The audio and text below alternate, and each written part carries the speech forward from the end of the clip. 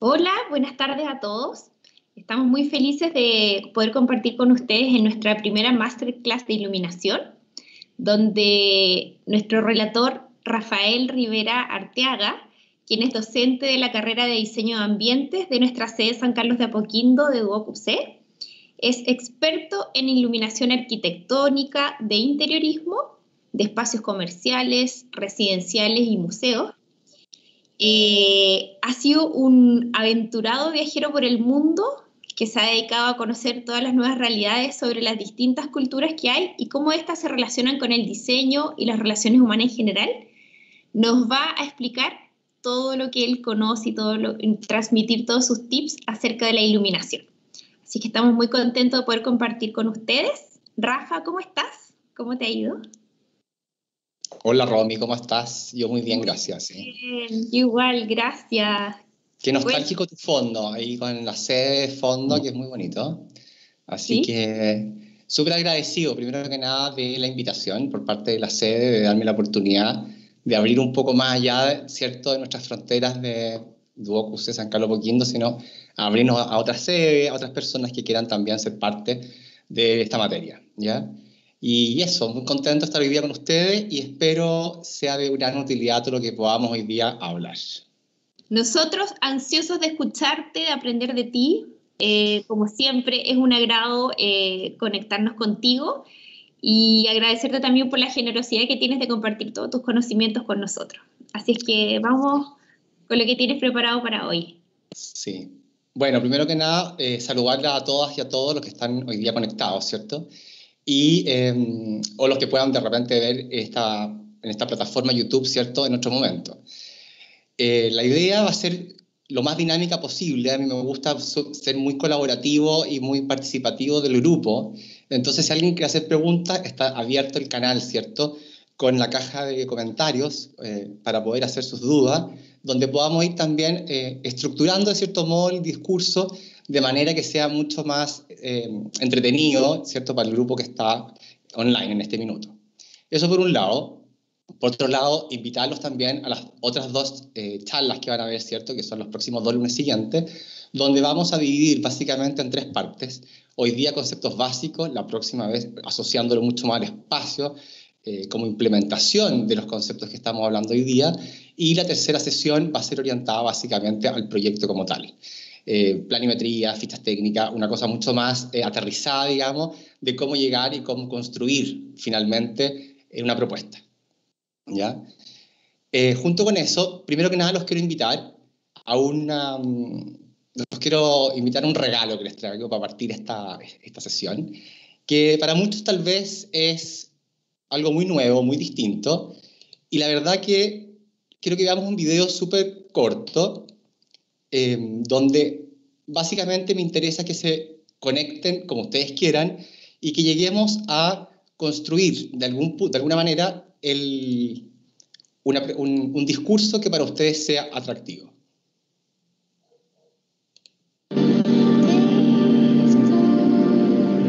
Relaxation, balance, energy. We live in island, so we have water all around us. Always think about the view. We make our, the landmark is very important for us.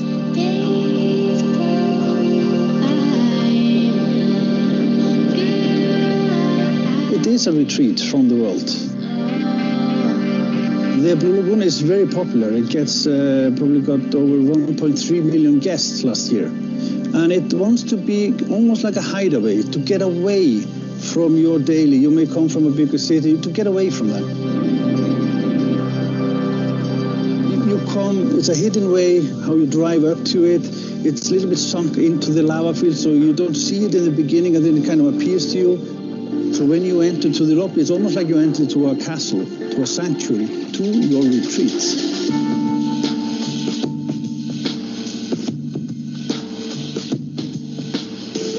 This project uh, has been a, like a big dream of the Blue Lagoon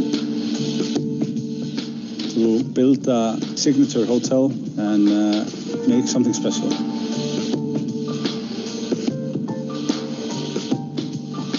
The driving force behind the whole building is nature.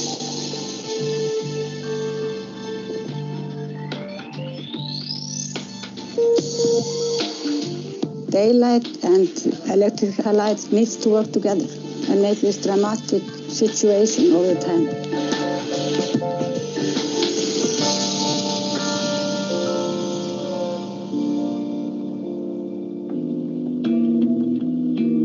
The key lighting element of the rooms, which is the lighting fixture behind the cloth, which you don't see when it's turned off, uh, that's a beautiful piece. So this idea came uh, from the Guido, the lighting designer, and then um, he started uh, working with Guzzini on it. We're thinking of what about the backlighting, the ceiling. We are thinking about sun, moon. It needed to be big. It needs to be very clear object, circular. Don't see it, and then it turns off, and it can control all kinds of, you know, all the temperature of, li- of white light and the intensity. So we can play with that to basically compensate for the darkness in the winter.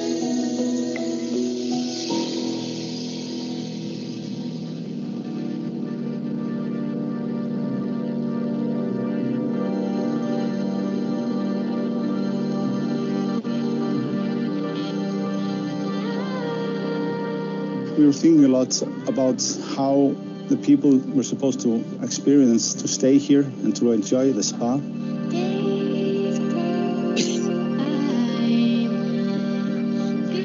the spa area, we are using a lot of grazing land. So we use underscore grazing a lot because uh, the walls will be uh, concrete walls and uh, we want to graze them to get some life in it.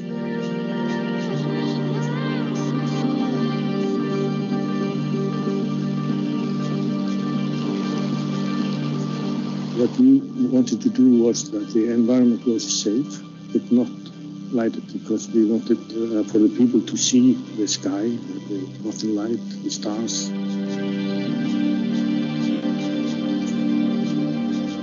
A world inside the universe of Blue Lagoon, but a world that would uh, somehow calm you and relax you.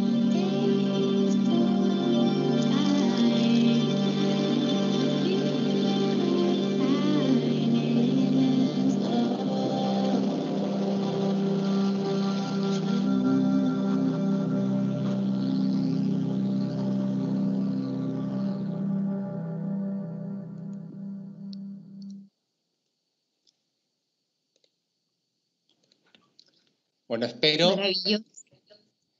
espero les haya gustado mucho el video.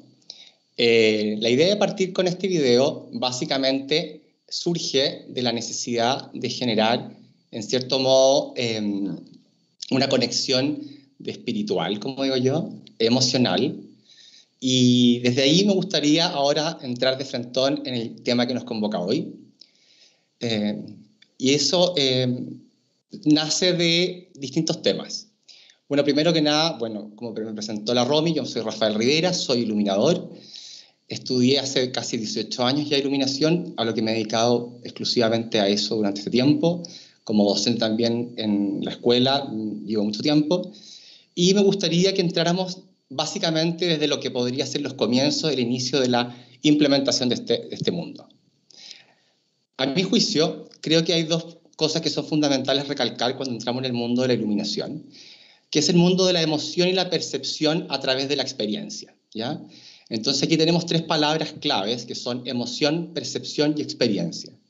La experiencia está dada, obviamente por el tema emocional y cuando hablamos de emoción no estoy hablando de sentirme cómodo, incómodo, tal vez incluso el aspecto de la felicidad incide directamente. Cuando uno tiene una conexión con un lugar donde yo digo, este lugar algo tiene que me acomoda, algo tiene que me gusta o incluso algo tiene que me molesta.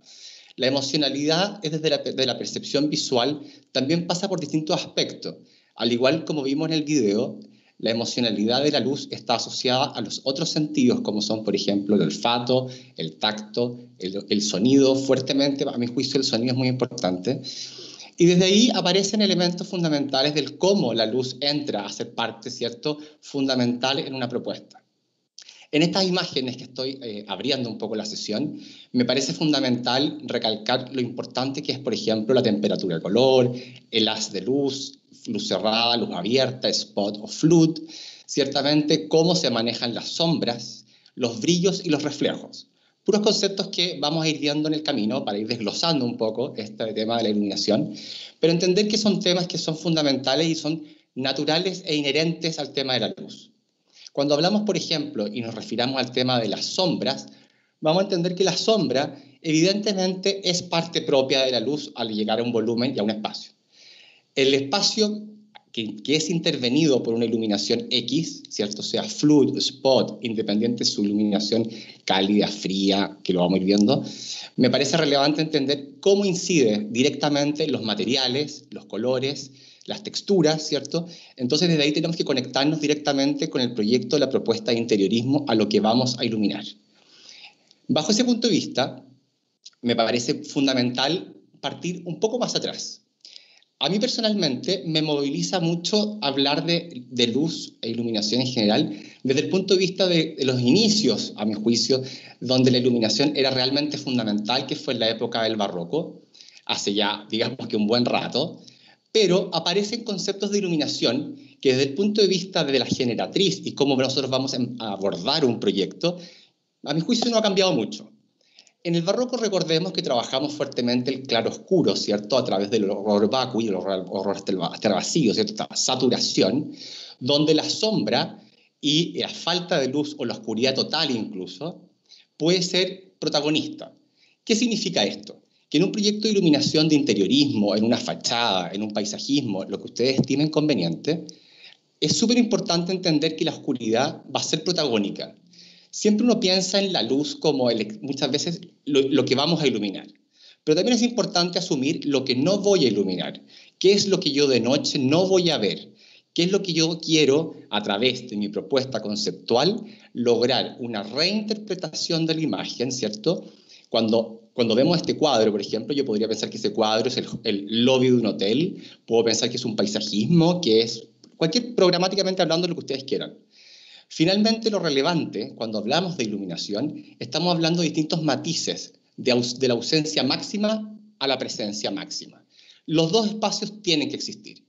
El no existir, a mi juicio, estos matices de distintos volúmenes de luz, nos, eh, llevamos a un espacio absolutamente plano, donde perdemos toda tridimensión, perdemos noción de la volumetría y perdemos capacidad emocional. ¿ya? A mi juicio, desde el punto de vista de la oscuridad, podemos construir una realidad que aparentemente podría ser negativa, ¿cierto? Que nosotros tenemos culturalmente, a mi juicio, un tema de que lo oscuro es lo malo, pero en presencia de oscuridad, la luz es absolutamente brillante, es absolutamente protagónica. Entonces yo creo que la oscuridad y, los extremos son importantes, pero aparece toda una gama de matices intermedios que son fundamentales.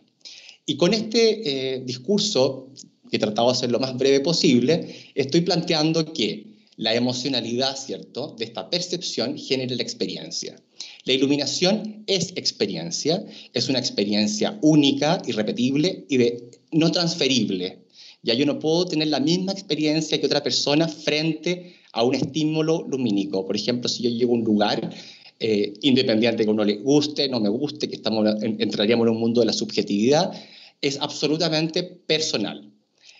Un proyecto de iluminación generalmente se vende en un segundo. Uno llega a un lugar iluminado, un proyecto de iluminación, indiferente a lo que sea, lo mismo si es una tienda, si es un hotel, una casa, un jardín, da lo mismo. Lo fundamental es qué me genera a mí, qué me produce a mí, a qué me invita a mí, incluso a analizar o a experimentar en ese minuto. Y ese minuto es absolutamente, nuevamente lo repito, es intransferible, personal y único. No se repite nunca más en la vida. Y desde ese punto de vista, la iluminación cumple un rol fundamental. Esto también se puede llevar al mundo de la ópera, del ballet y del teatro. A mi juicio, son tres disciplinas que la iluminación son súper importantes, protagónicas y construyen realidad.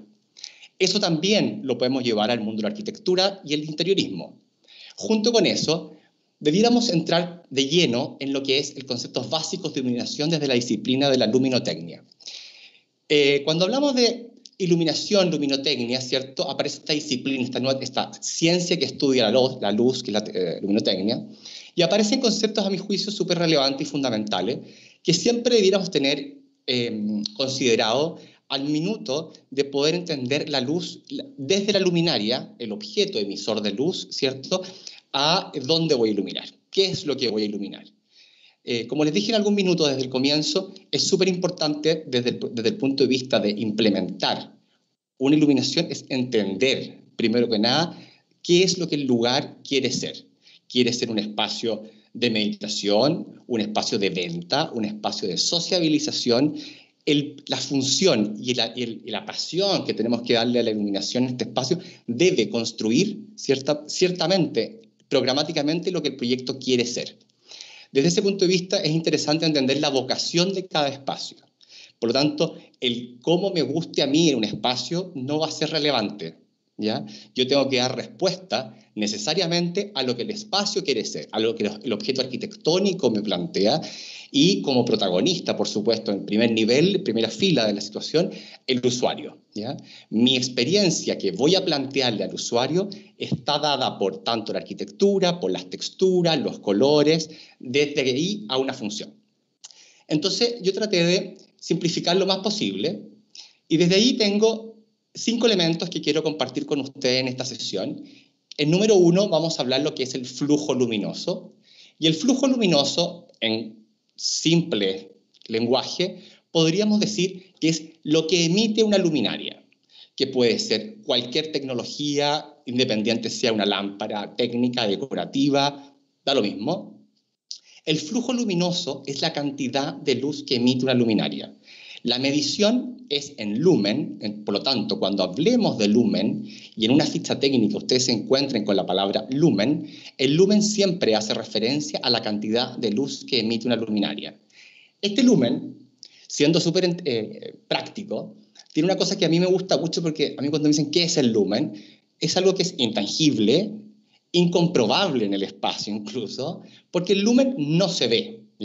El lumen, yo sé que una luminaria emite X cantidad de lumen porque un, fabricante, ¿cierto? Un proveedor a través de una ficha técnica me está diciendo cuánta luz emite. Ahora, esa luminaria, lo que a mí me interesa y a ustedes les va a interesar en sus proyectos, es básicamente la iluminancia, que es lux. Lumen versus lux. ¿Qué significa esto? El lumen, esta luz, esta masa que se emite, que tiene una forma determinada, dada por una óptica, que después lo vamos a, profundizar, es cómo se direcciona la luz. Una luz fluid, una luz más spot, más direccionada, más intencionada. Eh, y desde ahí tenemos el cómo se emite el lumen, pero en el proyecto finalmente donde yo voy a hacer patente este lumen es en superficies sólidas que puede ser tanto un el piso, el cielo, el muro, un objeto, lo que yo defina como objeto relevante a iluminar. Si es que va a ser, por ejemplo, en un espacio comercial como en este, posiblemente vamos a tener que entrar a iluminar y a confirmar cuántos looks tengo donde va la ropa, que finalmente es donde yo me interesa que la persona vea y sea partícipe efectivamente del color, por ejemplo, la cantidad de luz que requiere es fundamental. Entonces, este lumen, ¿cierto? Que yo, de, cierto modo, yo lo, puedo manejar, ¿ya? Lo puedo intencionar a través de lo que va a ser la óptica y cuánta luz llega a superficie. Desde ahí puede surgir una pregunta que puede ser bien lógica. Entonces uno dice, bueno, entonces la misma luminaria no sirve siempre. No, la misma luminaria no sirve siempre. Cada luminaria tiene una función específica para un espacio específico. Desde ahí tenemos el factor distancia o el factor D, como digo yo. El factor D es muy importante para poder entender cuántos lux efectivamente voy a tener en una superficie. Eso está dado por el factor fotométrico o la fotometría que el, eh, que el fabricante me va a dar a mí, en el caso de ustedes también, así que no se preocupen. Entonces, el factor fotométrico va a ser el que nos va a definir cuál es la forma de este lumen, ¿cierto? Cómo se comporta en el espacio y, cómo yo podría trabajar con él. ¿cierto? Logrando X cantidad de lux en diferentes superficies. Ahora, la pregunta más interesante también que uno podría hacer como en una segunda lectura es, ¿cómo es este lumen? ¿Cierto? Definamos este lumen. Yo podría decir que el lumen tiene dos características que son absolutamente fundamentales y relevantes para nunca olvidar y siempre considerar, que es la temperatura del color, que se mide en grados Kelvin, y el índice de reproducción cromático, que es el famoso CRI o RA. Ahora, los grados Kelvin se miden de, en, estricto rigor de 0 a 10.000, siendo 0 el, el, rojo perfecto y 10.000 el azul perfecto. Por lo tanto, debiéramos decir que mientras más bajo los grados Kelvin en, numerología, en número, es más cálida y mientras más alto es más frío. En estricto rigor, yo podría decir que los 5000K, que es justo la mitad, estamos en un rango, dependiendo un poco de la luminaria, de si es una luz intermedia y una luz día. Cuando nosotros hablamos de luz día, generalmente estamos hablando de una luz de 4000, 5000K, más o menos. Cuando hablamos de una luz súper cálida, generalmente nosotros estamos acostumbrados a pensar en 2700K. El rango va de 2.700 a 3.000, básicamente en las marcas que nosotros consideramos en Chile. Hay otras marcas que también se manejan en un detalle un poco más, más acotado, pero 2.700, 3.000 es una luz cálida. Y 5.000 hacia arriba, 5.500, 6.000, 6.500, vamos a entender siempre como una luz fría. Más bajo de 2700 yo podría decir tengo 2000. Incluso una llama, un fuego, una vela son 1000 o 900 ¿ya? lumen. Por lo tanto, siempre piensen que es todo al revés que los grados Celsius. Los grados Celsius siempre nosotros estamos como formateados y condicionados a entender que mientras más alto es más cálido y mientras más frío, más, frío, más bajo. Acá es todo lo opuesto. De 0 a 10.000, donde siendo el 0 nuevamente un rojo perfecto y el, y el, 10.000 un azul perfecto. Entonces vamos a entrar a una gama de iluminación de aproximadamente de los 2.000, 2.200, dependiendo del lugar geográfico donde estemos. Porque, por ejemplo, si yo voy al Caribe, en generalmente el Caribe ocupa mucho 2.200, que es una luz más bien ámbar, más bien naranja, que eh, engancha mucho con su contexto geográfico. Y desde ahí voy a hacer alusión al video que vimos en un comienzo, que si se fijaron, el contexto geográfico, el contexto climático y el contexto lumínico donde estaba este edificio fue el que fue la generatriz para tomar decisiones de cómo se iluminaba este espacio. Entonces, eso es lo bonito de ese video, que finalmente cómo el lugar invita y obliga, en cierto modo, a plantear, ciertamente, el cómo se ilumina. Esta temperatura de color ¿cierto? Es un factor que nosotros tal vez, para los arquitectos, diseñadores o gente relacionada al mundo del interiorismo, lo tenemos mucho más absorbido, ciertamente. Uno sabe luz cálida, luz día, luz fría. Evidentemente tenemos claro que la luz cálida pone en valor los, los colores cálidos y la luz fría, los colores más fríos, siendo la luz intermedia una cosa que hace como engancha, engancha un poco con todos. Por lo tanto, por esa razón, muchas veces en los espacios comerciales, como en tienda, nos vamos a encontrar con 4.000K bastante seguido, digamos.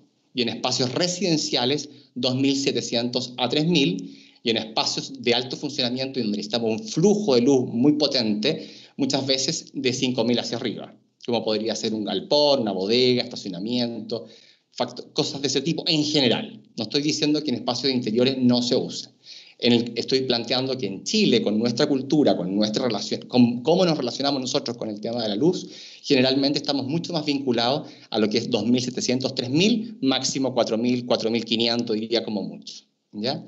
Desde ahí hay un factor que a mí me interesa hoy día que quede muy claro y voy a ser bastante eh, eh, insistente, por decirlo de alguna manera, que es fundamental entender el concepto del factor, el número 4, que es el índice de reproducción cromática. Cuando hablamos de índice de reproducción cromática, estamos hablando de cómo este lumen, ¿cierto?, toma contacto con el objeto y es capaz de manifestar los colores tal cual son.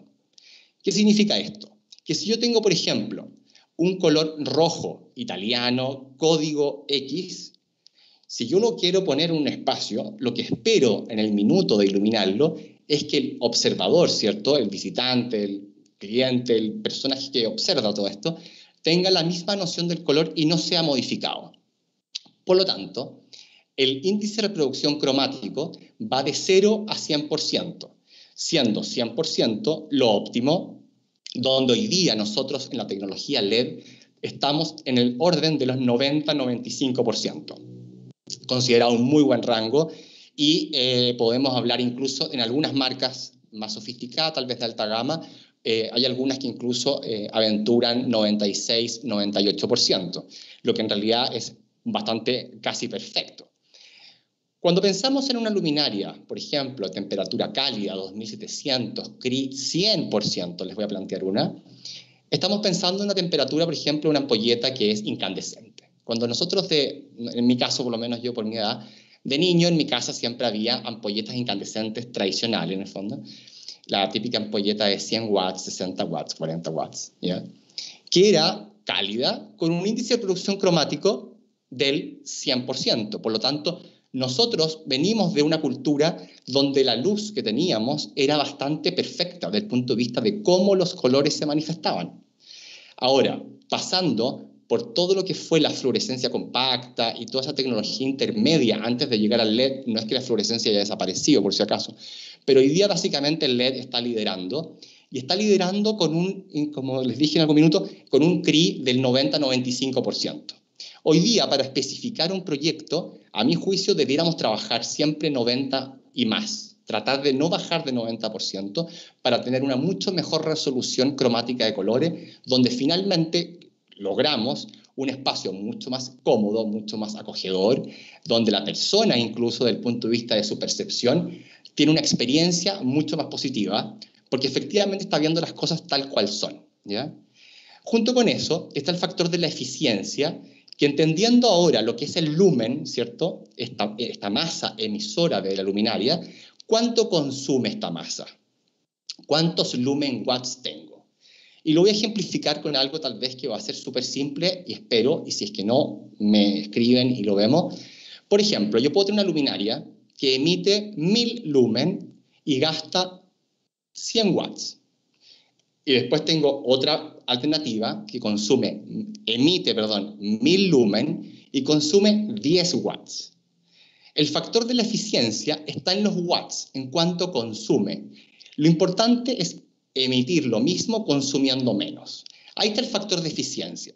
Entonces, hoy día, porcentualmente hablando, en comparación de lo que fue la incandescencia, la halógena y también, en cierto modo, lo que fue la fluorescencia, tenemos la suerte, a mi juicio, de tener hoy día el LED que ha sido bastante pionero en el tema de la eficiencia.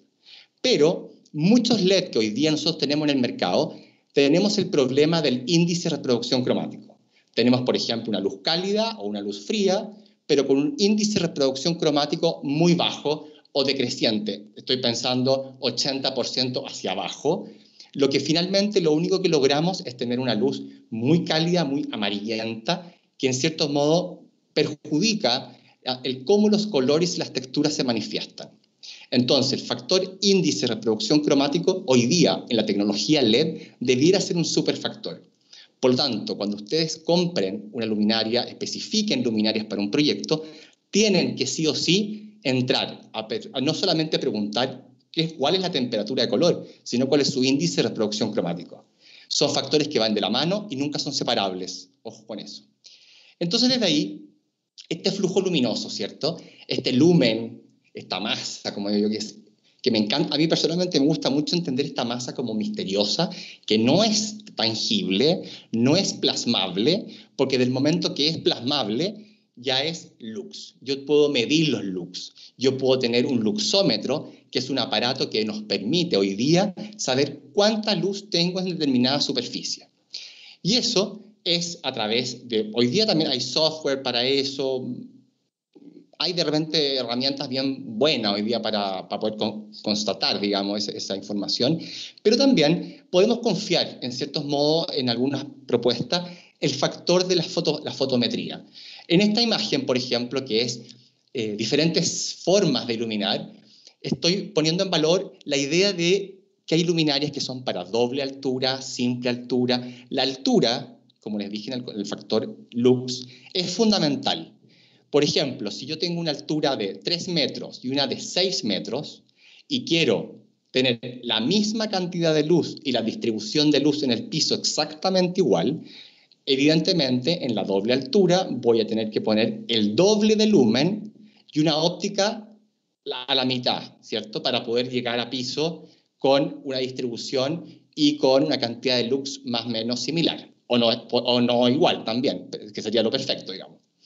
Junto con eso, este índice de reproducción cromático que responde desde el rojo máximo al azul máximo, tenemos como resultado un blanco neutro.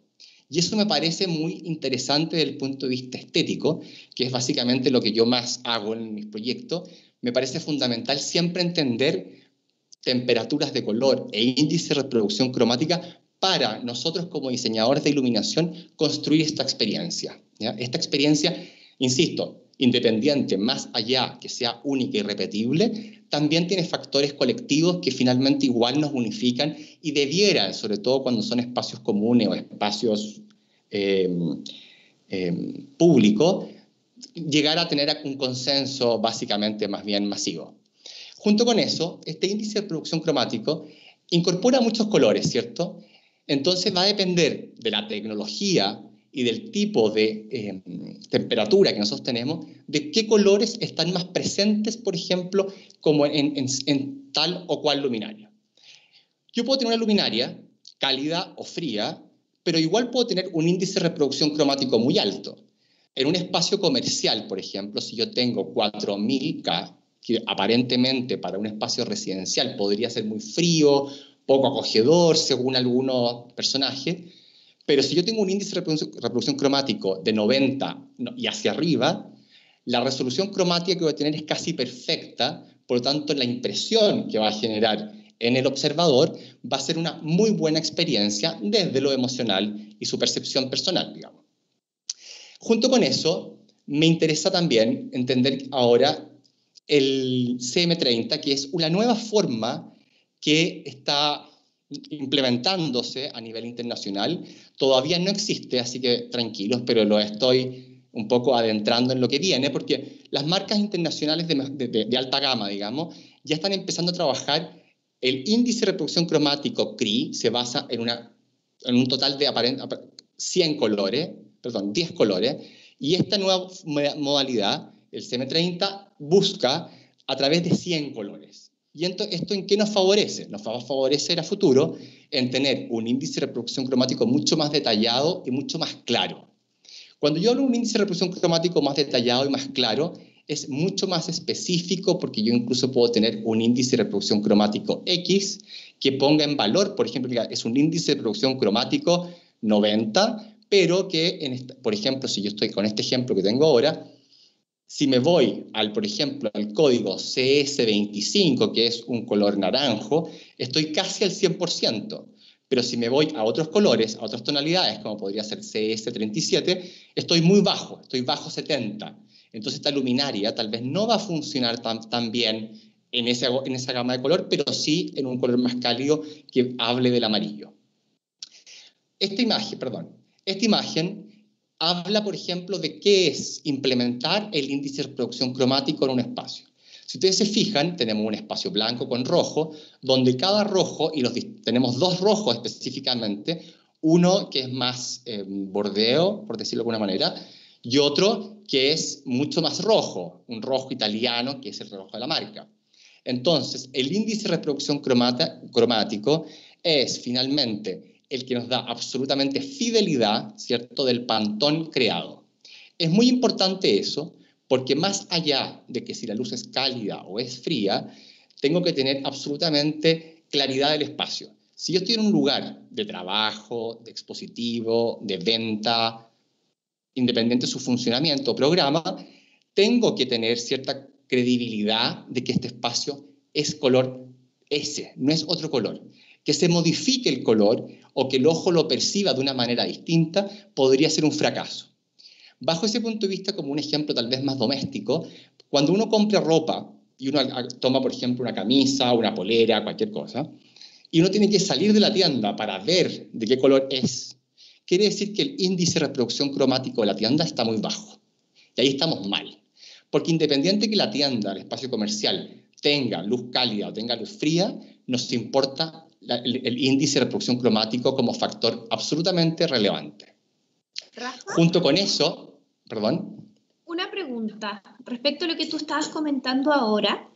¿Eso significa que nosotros podríamos mezclar temperaturas de color en una misma propuesta o no? Podríamos, mira qué buena pregunta. ¿Podríamos mezclar? Sí, se podrían mezclar temperaturas de color, incluso muchas veces se hace. Ahora, cuando se mezcla, si yo voy a trabajar con dos temperaturas de color, por ejemplo, en un espacio, tiene que ser muy justificado y que el ojo, ¿cierto?, entienda que las dos temperaturas de color funcionan colaborativamente para cosas muy particulares. Yo puedo hacer, por ejemplo, una luz indirecta con una luz día, por ejemplo, de 4000 y acentuar toda la parte, la parte más, toda la parte fluid, por ejemplo, más fría, 4000, y acentuar con 2007, por ejemplo. Pero ambas con un CRI 90, por ejemplo. O sea, ahí estandarizo. ¿ya? Pero también es interesante entender que si voy a trabajar con 2007 y quiero meter otra temperatura de color, no debiera ser 3000, por ejemplo, porque es tan cercano uno del otro que si voy a mezclar temperaturas de color, sí o sí debiera ser 2007-4000, por ejemplo, o 3000 con 4000, 4500, que el, el, contrapunto sea tan obvio que sea parte de la estética y de la propuesta, que no quede, de cierto modo, em, como que quedó mal hecho. Sí, sí. Siempre tiene que haber eh, una, un porqué, una razón del porqué. Ajá. Y en ese, en ese caso, ¿tú consideras que es mejor trabajar con luz flood o spot? Es relativo. Cada propuesta es un mundo, cada persona es un mundo y cada propuesta finalmente responde a eso. Yo creo que en general, dependiendo de la propuesta, idealmente colaborativamente, funcionan muy bien.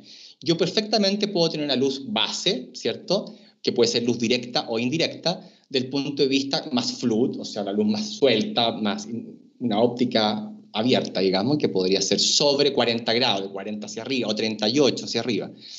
Pero yo lo puedo perfectamente trabajar también con luminarias, por ejemplo, más spot o super spot de 8 grados, 12 grados, 24 grados, para acentuar algunos elementos que yo quiero poner en valor.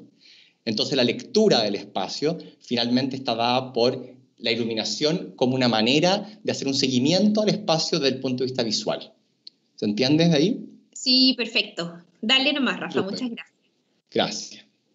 Junto con eso, viene el concepto del confort visual, ¿cierto? Que en grandes rasgos se mide con UGR, que no es lo más relevante en este minuto, pero me parece fundamental incorporar el confort visual, porque un proyecto de iluminación no solamente está hecho de eh, temperatura de color, índice de reproducción cromático, fluido spot, ¿cierto?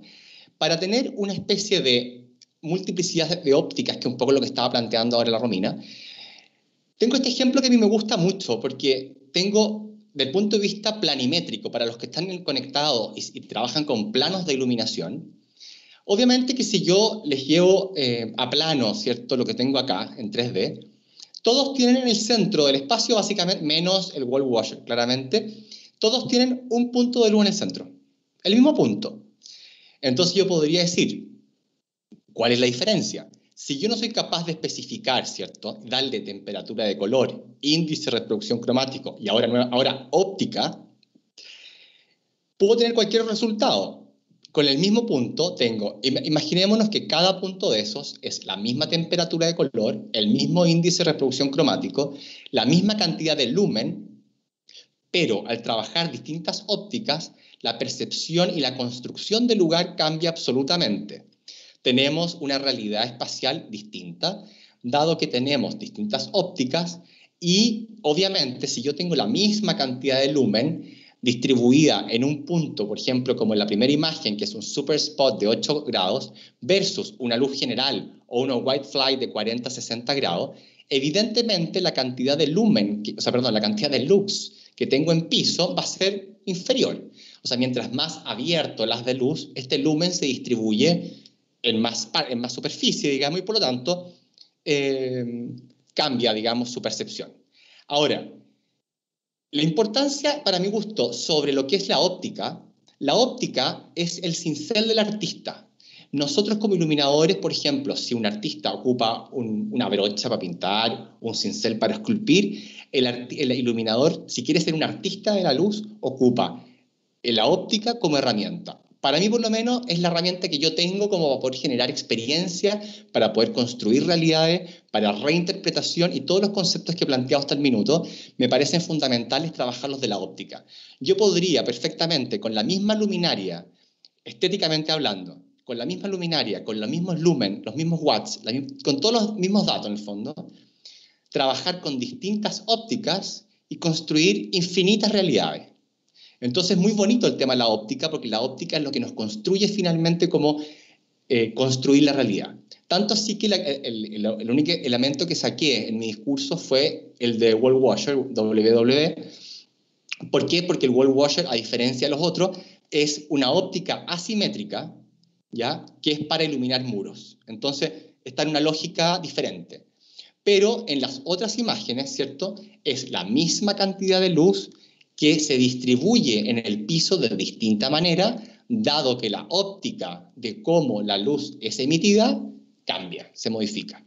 Entonces, es bien interesante eso, porque es muy distinto eh, si yo quisiera, por ejemplo, tener en el, en el, por ejemplo, si vamos como ejemplo, super spot 8 grados, o quiero hacer, por ejemplo, en 15 grados, que es prácticamente el doble, si yo dijera quiero el doble de lux, perdón, quiero la misma cantidad de lux en esos dos espacios, la misma cantidad de lux a piso. En la segunda imagen tendría que poner el doble de lumen, porque necesitaría la mayor cantidad de lumen para tener la misma cantidad de lux, porque estoy reduciendo a la mitad la capacidad de distribución de este lumen en el piso. Ahora, lo planteo como un elemento artístico, ¿cierto? ¿Por qué? Porque, por ejemplo, llegando a un proyecto, este proyecto lo hice hace aproximadamente dos años, y si se fijan, es un proyecto que tengo iluminación tanto en cielo como en piso y en, en algunas partes de la casa van a poder también en el muro. La distribución de la iluminación no necesariamente debiera venir del cielo, puede venir del piso, del, piso del muro de distintas maneras. Incorporar esta envolvente, ciertamente, pero también reconocer fuertemente la materialidad, su naturaleza y qué es lo que yo puedo de noche, sobre todo, porque de día más complicado, sobre todo si tenemos luz natural fuertemente como un espacio como este. Si se fijan, de noche empieza a iluminarse este muro con luces y sombras. Y volvemos un poco a esta cosa barroca, donde empezamos a construir realidad desde la tridimensión a través de la luz y la sombra. La iluminación en las circulaciones son con puntos de oscuridad y puntos de iluminación que van definiendo lugares de interés visualmente. En el comedor, por ejemplo, a diferencia del anterior, la dueña de casa optó por poner una lámpara que da una luz flood, una luz abierta, donde los spots empiezan, en cierto modo, a desaparecer. No es tanto lo que más me gusta a mí, pero reconozco que también hay que ser práctico y hay que entender al cliente y al usuario que finalmente es que ocupar el espacio. Pero desde ahí, por ejemplo, podemos entrar al baño de la casa y entender que ahora yo tengo, necesito una iluminación donde la estética puede ser súper protagónica y ya no necesariamente entender la luz como una cosa netamente funcional y práctica. Acá, por ejemplo, está trabajada la luz desde el muro, de distintos, todos los muros y cielos emiten luz de distintas partes, pensando que este baño no va a emitir sombras. ¿ya? Dentro del encargo que se pidió es que la persona no quería sombras en la cara. ¿ya?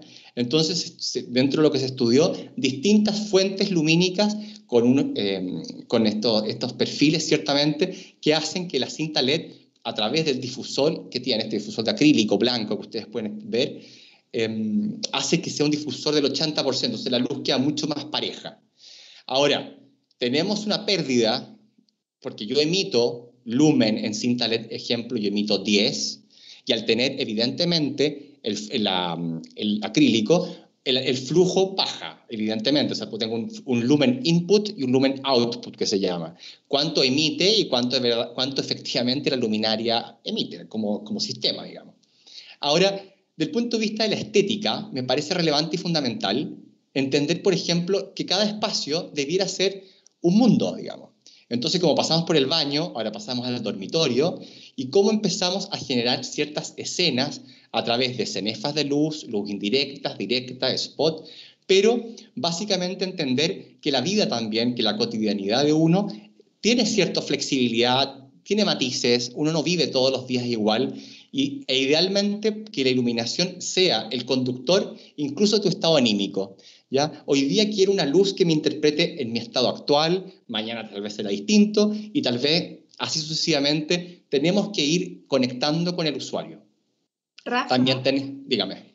Javiera pregunta en el chat del canal de YouTube si es que se pueden mezclar distintas ópticas en un proyecto y es precisamente lo que tú estás comentando ahora.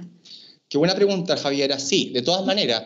O sea, es más, yo creo que como les planteé, si es que hablamos de que la óptica es como el cincel del artista, eh, nosotros con la óptica, ciertamente, es la herramienta que tenemos para construir un espacio eh, de construir el concepto, ¿cierto? Cuando nosotros hablamos de concepto, yo finalmente, yo cuando me reúno con un, con un cliente, finalmente hablamos de concepto, no hablamos de soluciones. Las soluciones se van dando en el camino en función de distintas ópticas, distribución lumínica, luz más fluid, spot, distintos, distintos spots tal vez. Y de hecho este ejemplo, que lo que me estás preguntando, yo creo que calza bastante con esta imagen que tenemos en este minuto en pantalla, donde tenemos este muro retroiluminado con un backup de cinta LED, ciertamente, que tiene la misma temperatura de color y el mismo índice de reproducción cromático que las luminarias del cielo. Y ahí tenemos una luz base, ¿cierto? Una luz más plana, pero los focos spot que están en el cielo, estas luminarias de 20 grados, lo que tenemos puesto en este minuto, ahí arriba, por ejemplo, es una luminaria empotrada basculante, 2700K, CRI 90, eh, eso es, y creo que son eh, 880 lumen aprox. Para que se hagan una idea, en una casa normal, en un espacio de altura como este, una esta casa es un poco más alta de lo normal que, que los tradicionales en Chile, entonces tenemos 800 lumen, que es bastante bien. Ahora, cuando hablamos de una ampolleta GU10 LED, que para ustedes puede ser tal vez súper cotidiana, eh, estamos hablando de 400, 450 lumen en el mejor de los casos. Entonces, tener un buen, un, una buena eficiencia de lumen, la óptica va a ser el gran elemento fundamental. Junto con esto, eh, les quiero presentar esta imagen que es como de las imágenes que yo he robado en, mi, en mis viajes, de hecho, la saqué en Tokio y me encantó. De hecho, yo de, de, este, de esta imagen me he inspirado para hacer baños, para hacer pasillos, para hacer el drugstore del Providencia, de hecho, cuando lo hicimos. Esta es una imagen absolutamente inspiradora a mil, donde la estética y el diseño del, de, la, de, la, de, las luminarias, por decirlo de alguna manera, finalmente tienen un doble rol. Una cosa es la estética y también la función. ¿ya? Y eh, a mí me encanta finalmente como al momento de implementarla, el efecto que genera en las personas. Es muy bonito eso, como que genera una cosa de... Nadie queda... Eh. Todos quedan con algún, impacto genera. Es muy bonito eso, muy, muy, muy bonito desde el punto de vista de, de la impresión. Junto con eso, otra foto que eh, viajes que he hecho por el mundo, como dice la Romy. Por ejemplo, a mí me sorprendió mucho cuando conocí este centro comercial porque está tan lejos a la realidad nuestra. Y ahí tenemos, por ejemplo, cómo el iluminador que hizo esto no solamente hizo una, una grilla de iluminación a nivel de cielo, que alguien podría decir que es súper simple, súper fome incluso, pero tiene un efecto de iluminación, para mi gusto, súper interesante, este como manchado de piso, ¿cierto? Con no esta luz pareja que nosotros estamos acostumbrados, y genera, en cierto modo, una textura, ¿cierto? En un piso que es plano, sin, sin mayor diferencia, digamos, la misma madera en todas partes, pero es, una, es el espacio, esa explanada, cuando uno camina por ahí, efectivamente es tan grande el lugar que genera impacto ver estas manchas en el suelo. Tanto así que eh, en, la, en, la, imagen no, no, lo puse, pero uno ve, por ejemplo, niños que juegan y van jugando con los haces del suelo. O sea, genera una cosa súper lúdica. Y eso, por ejemplo, re reconoce la emocionalidad de la luz desde a, a, la experiencia. Cómo la iluminación logró mucho más que, alumbrar, por, por dividir los conceptos, de alumbrar a iluminar. ¿Ya? Esto es iluminar.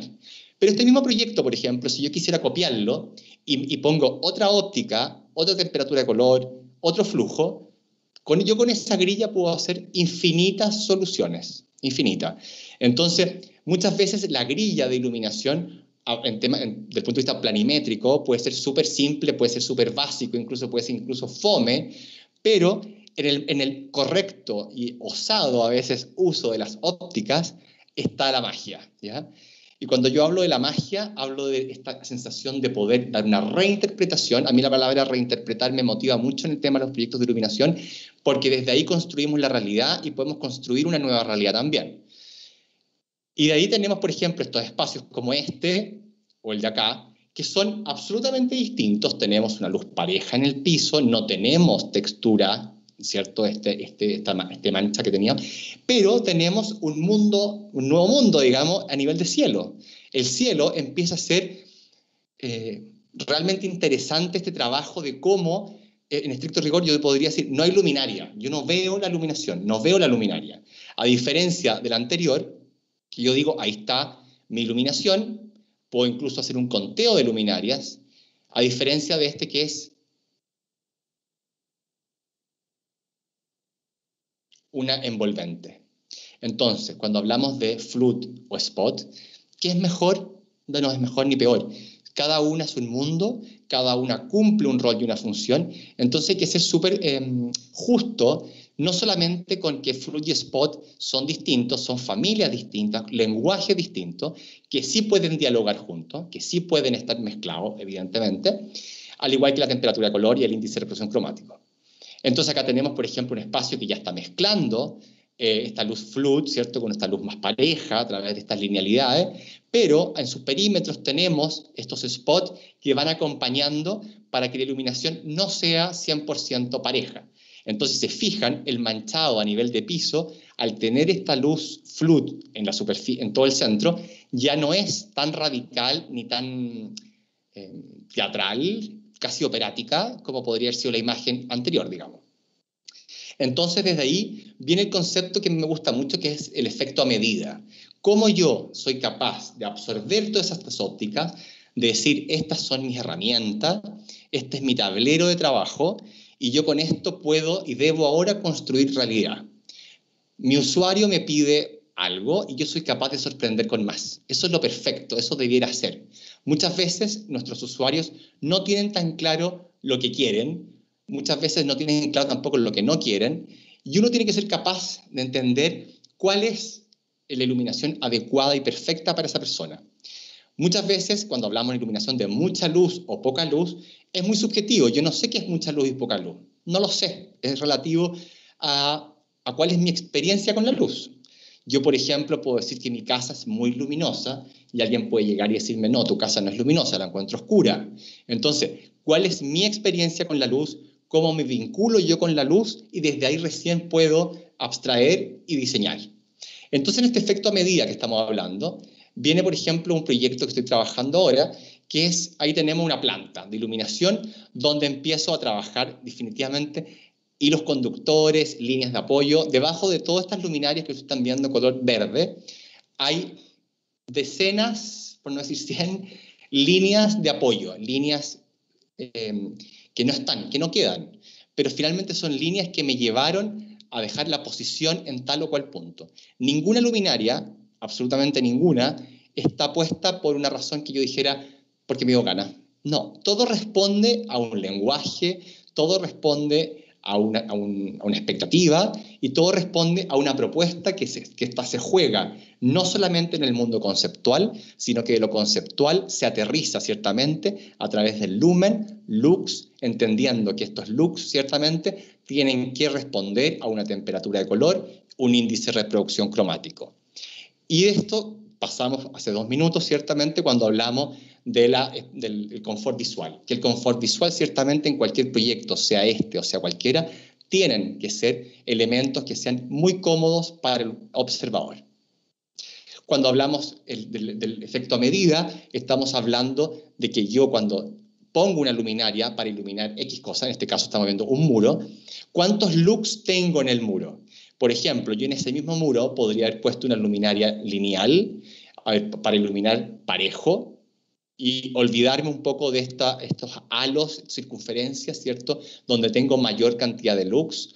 O al revés, podría decir, ¿sabes qué? No, yo quiero, eh, el muro ahora va a ser de piedra, entonces quiero al revés, que no quiero que sea parejo, voy a poner unas luminarias con una luz más spot, donde voy a tener una textura basada en el claro oscuro que de noche va a tener una comprensión, una comprensión visual mucho más em, teatral, por no decir operática, donde el ojo finalmente cumple un rol ahí muy atractivo a mi juicio, eh, desde el punto de vista de la, relación ojo, elemento iluminado, emocionalidad, ¿cierto? es fundamental pensarlo así porque si no, finalmente nos, podemos eh, transformar en solucionadores de iluminación. Entonces, yo puedo poner, incluso para iluminar un espacio, puedo poner un tubo fluorescente colgando y tengo luz. Bajo ese punto de vista, tengo luz. El tema es ir más allá, ir más allá de lo que es el diseño, ir más allá de la propuesta, ir más allá de lo que el espacio quiere ser. Por ejemplo, una luz flood, una luz mucho más, con una distribución mucho más reconocida como esta. Y si se dan cuenta, son propuestas distintas, no mejor una de la otra, solamente estamos, estamos planteando un criterio, un lenguaje, donde finalmente la gente puede, ciertamente, tener una experiencia mejor o peor. Obviamente que el proyecto iluminación debe reconocer el usuario tipo y general, cuando estamos hablando de espacios públicos. Cuando estamos hablando de espacios comunes como más, más, más individuales, espacios privados, digamos, podemos entrar a un lenguaje mucho más eh, como este, donde mezclamos, por ejemplo, iluminación técnica. Acá tenemos, de tu pregunta, tenemos iluminación técnica indirecta en la cenefa trasera de lo que es la cama, luminarias empotradas en el vano de la ventana y en cielo, pero acá está, se, suma a mano derecha, ciertamente, esta luminaria, que es una lámpara, entre comillas, decorativa. No me gusta hablar de decorativo porque creo que la iluminación siempre, del, momento que emite lumen, ciertamente emite lumen, es, incide directamente en la propuesta espacial total. Por lo tanto, hablemos de una luminaria más con diseño, renombrémosla. Porque esa luminaria, por ejemplo, que me pasa mucho, si yo trabajo, y con esto voy a ir cerrando por si acaso, para que no se aburran ahí conmigo. Por ejemplo, si yo tengo una luminaria, una trasera, que es 2007 o 3000 en este caso, 3000, CRI 90, luminaria flut, por supuesto, 120 grados la, cinta.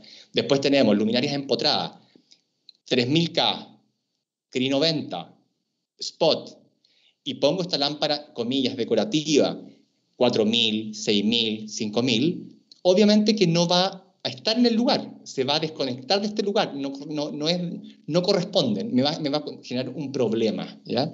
Entonces, si voy a poner una iluminación, comillas, decorativa, tengo que ser muy cuidadoso de saber que la temperatura de color, el índice de reproducción cromático y la cantidad de luz que emite y cómo la emite están ad hoc al proyecto general. Porque muchas veces cuando estamos hablando de una iluminación decorativa, la luz es flood, es spot, es un tema que es muy importante. Entonces, siempre pensar, acá tengo dos proyectos también que he trabajado con el tema de la, mezcla de flood y spot, línea, punto. Poner en valor más allá de. Ciertamente la línea es un tema que a mí me, golpeó mucho en Japón, en realidad. Y desde que fui, eh, hace dos, años, no me acuerdo, tres años puede ser, eh, empecé a trabajar eh, esta cosa más orgánica, que es como líneas que van, vienen, que generan envolvente, y a través de elementos más spot poder poner en valor otros objetos. Entonces, les agradezco y espero que les haya sido de gran utilidad. Eh, nos veremos la próxima semana, ¿cierto? En la segunda parte y vamos a seguir avanzando. ¿A qué? Vamos a avanzar de los conceptos básicos que tuvimos hoy día, ¿cierto? ¿Qué es el lumen? Lux, cómo es este lumen, que es temperatura de color e índice de reproducción cromático, y desde ahí el factor eficiencia, que es lumen versus watts. Ahora, ¿cómo vamos, entramos al espacio con todo esto? Vamos a hablar de distribución lumínica y de factores como eh, brillos, reflejos, encandilamiento, elementos propios de la luz, pero que nosotros como iluminadores y como proyectistas debemos hacerlos parte. ¿Ya? No dejarlos fuera y hacernos cargo y abordarlos bien. Así que no sé, Romy, si tienes más dudas, más preguntas que quieras hacerme para ir cerrando. Muchas gracias, Rafa. La verdad es que estaba pero demasiado concentrada escuchándote, es un agrado y que nos traspases toda tu sabiduría. eh, transmitirte... Feliz de hacerlo. Otra pregunta que nos llegó, eh, donde Javiera nos, nos, dice si es que en el caso de iluminar una casa, ¿es mejor con mucha luz o poca luz? Bueno, en algún momento lo planteamos, ¿cierto? Que el, es tan subjetivo el mucha luz o poca luz que finalmente yo te podría responder, primero habría que hablar con el usuario, plantear cuáles son sus referentes estéticos de, buen, de mucha luz o poca luz, primero que nada. Hay gente que no solamente se vincula con más luz o menos luz, yo creo que hay una pregunta que uno podría incluso ahondar y decir, ¿te vinculas más con luz spot, luz flood? ¿Te gusta el claro oscuro? ¿O hay gente que requiere necesariamente por un tema psicológico de ver mucha luz, una saturación de luz, una sobreiluminación? Bajo ese punto de vista, yo creo que estamos viviendo nosotros una cultura bastante sobreiluminada, no solamente a nivel indoor, como dicen en las casas, sino que también vivimos sobreiluminados en la calle.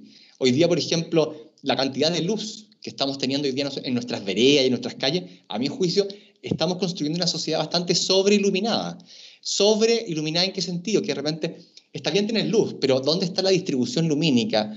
Tener la calle sobreiluminada y, y las fachadas de los edificios oscuros, eso pasa lo mismo un poco en las casas, ¿ya? Entonces, por ejemplo, me parece como, como respuesta, sería interesante, por ejemplo, ver cómo te gusta la distribución de la luz en el espacio, qué te gusta que tenga más luz o menos luz, según su programa, por ejemplo, una cosa es iluminar, volviendo un poco al video eh, motivacional del principio de la clase, yo podría decir, por ejemplo, si tienes un spa en tu casa, un espacio de meditación, dónde está tu eh, lugar de estar, de descanso, recreación, tu lugar de dormir, tu lugar de comer, tal vez tienes un gimnasio en tu casa. Entonces, cada uno en sí mismo es un mundo, es una función distinta, entonces todos responden a volúmenes de luz distintos. Yo, iluminar un gimnasio es distinto que iluminar la sala de estar.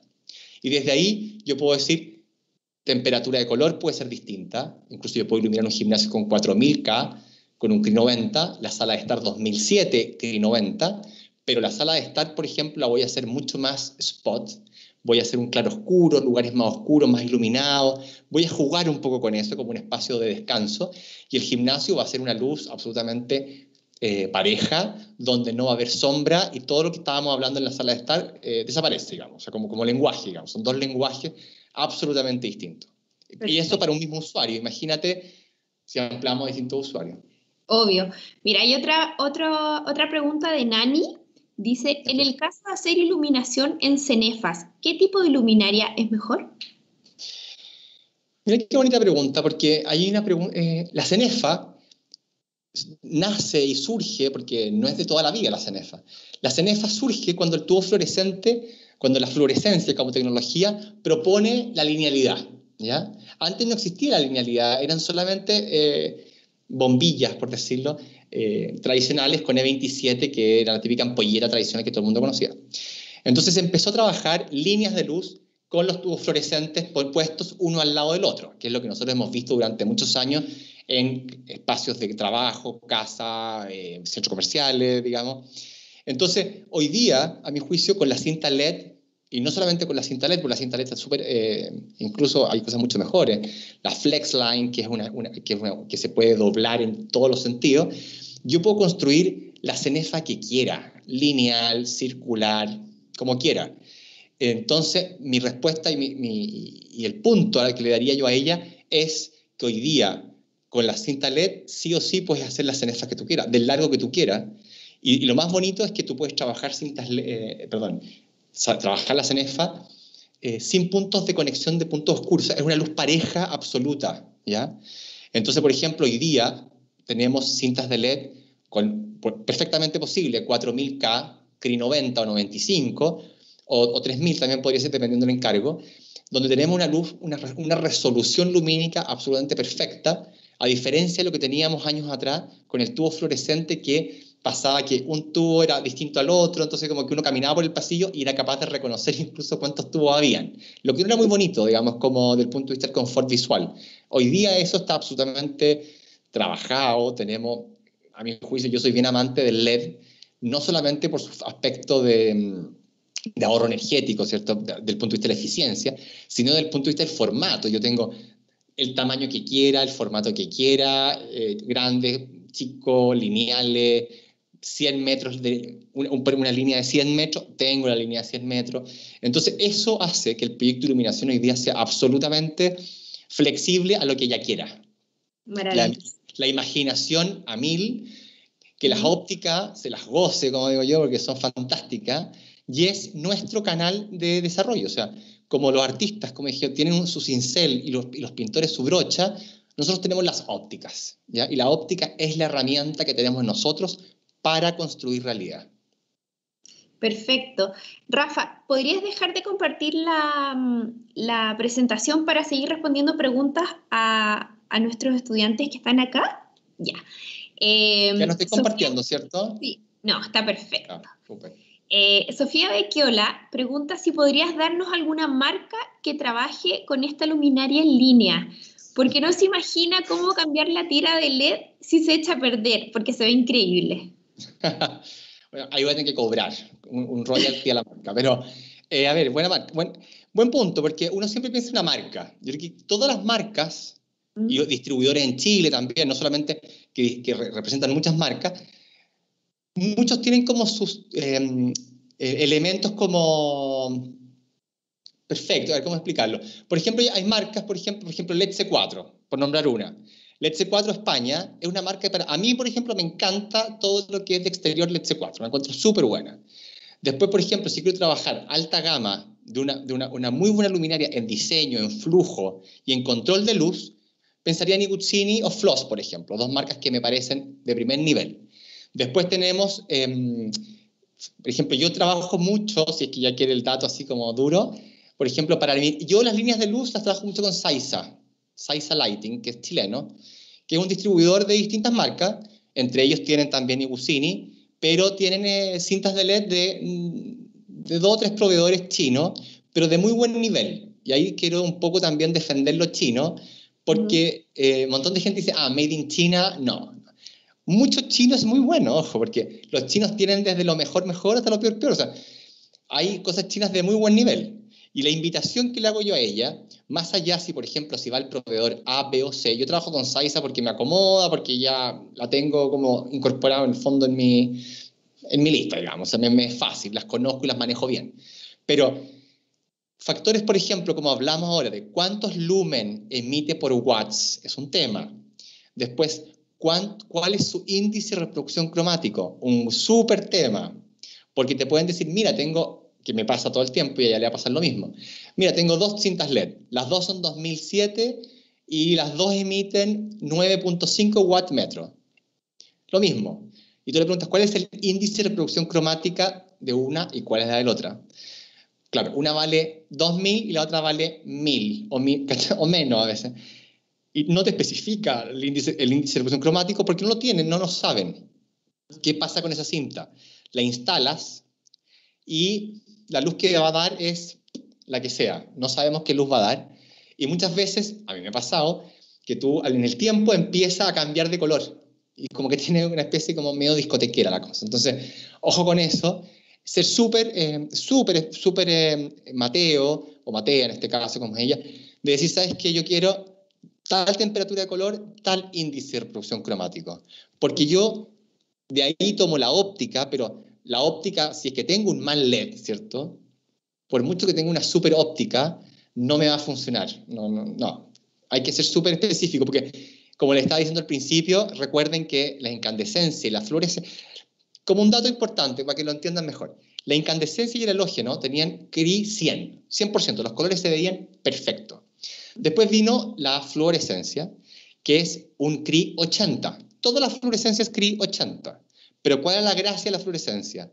Que el flujo, ¿cierto? Lumen versus watts era mucho más ahorrativo, o sea, era súper eficiente desde el punto de vista del consumo a su, a su lumen. Pero 80% nomás de, de índice de revolución cromático. Y ahora el LED no solamente suma la eficiencia, sino que sube a 90-95. Entonces, ahí vamos. Y yo creo que dicen que podríamos llegar a 100, pero no sé las últimas dos preguntas, porque ya tenemos que cerrar la transmisión. Carlos Roa dice, al principio se mencionó las sombras como elemento compositivo en el proceso de iluminación. a la hora de iluminar, ¿cuál es el criterio para seleccionar los espacios que no se deben iluminar? Mira qué linda pregunta. Bueno, eso lo vamos a hablar, voy a contestar igual, pero lo vamos a desarrollar en la próxima sesión, de hecho. Vamos a hablar de ese tema. Ajá. Pero, por ejemplo, eh, y espero responderle con el ejemplo que le voy a dar.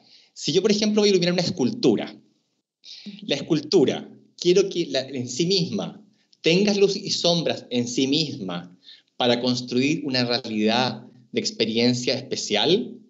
Segunda sombra, la sombra de la escultura en el piso o el plinto que la sustenta. O voy a ponerle cuatro luminarias perimetrales para que no haya sombra, no haya nada. Son dos posibilidades. El fondo, el qué ilumino y qué no ilumino, ciertamente, el que, lo que dejo de iluminar debiera ser lo menos relevante del, del programa funcional, digamos. Por ejemplo, si yo voy a iluminar un comedor, no puedo generar la oscuridad en la mesa, digamos, no era el lugar para oscurecer, digamos. Pero yo perfectamente podría tener un comedor con unas luces spot sobre, sobre la cubierta de la mesa y el resto no iluminado. Y, un- y una cosa bien dramática que de noche la mesa está súper iluminada y nada más. Pero funcionalmente funciona. O sea, el programa está chequeado, digamos. Sí, obvio. Ya, y vamos con la última pregunta de Ann Bu.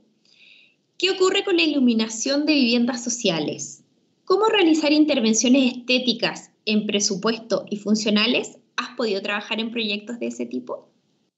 Esa es nuestra pregunta para cerrar nuestra transmisión. Preciosa pregunta, la verdad, muy linda. La verdad, lamentablemente no me ha tocado. En algún minuto como que se, se, se iba a dar la oportunidad de plantear un concepto de iluminación para vivienda social donde evidentemente siempre se planteaba como que la- el lumen versus watts era como lo más importante, que esto consuma poco. Pero me acuerdo que lo que yo planteé sobre la temperatura de color y el índice de reproducción cromático, y ahí como que topamos un poco, pues yo encontraba que obviamente que vivir en una casa con una luz que, no, que casi te desfigura el color tuyo, eh, no, es, no, no es positivo, digamos. Tú no eres feliz ahí, poniéndolo en términos bien prácticos.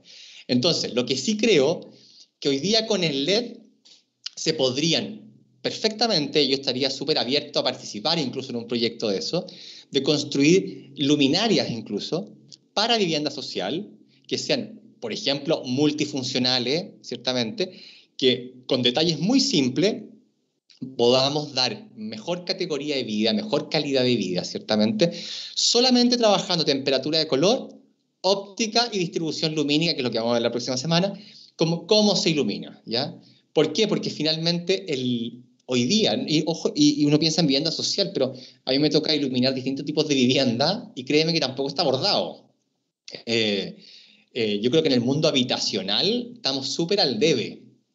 Ujú. A mí me ha tocado en museos, tiendas, centros comerciales, ese tipo de cosas, la gente lo tiene como mucho más eh, absorbido, digamos. Pero, eh, pero en las casas como que ahora entramos, digamos, pero todavía lo ven como una cosa que podría no estar, digamos.